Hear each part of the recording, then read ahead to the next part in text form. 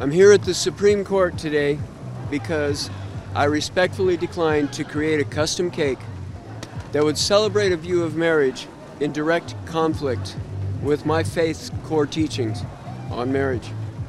I offered to sell the two gentlemen suing me anything else in my shop or create a design on a cake for any other occasion.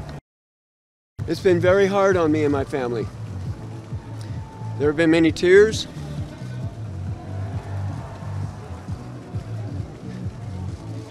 and many difficult, many difficult days for us.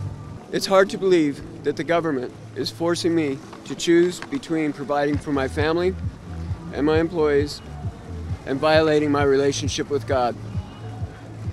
That is not freedom. That is not tolerance. We were hurt and felt rejected, and we felt like second class citizens in our society. And we want people to know that this story isn't an abstract.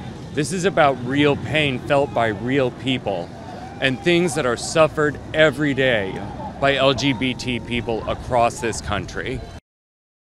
Your support has been so important to us, not just to keep us going, but to help us understand how important what it is following this through meant. This is about the freedom of creative professionals like Jack and others all across the country to be able to create their expression and their artwork without fear of the government telling them what they must create in a manner that violates their religious convictions. Jack! Justice for Jack!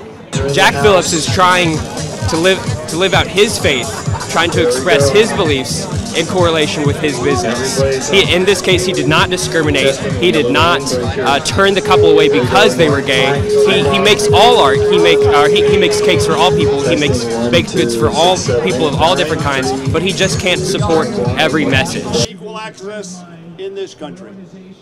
They think that, that since they have the right to refuse service, then they have the right to refuse refuse service based on someone's identity, but that's not true because there are protected groups under the um, Supreme I'm Court and under the law that you're not allowed to discriminate against. They weren't being like dangerous or anything like that. That's when you have the right to refuse service.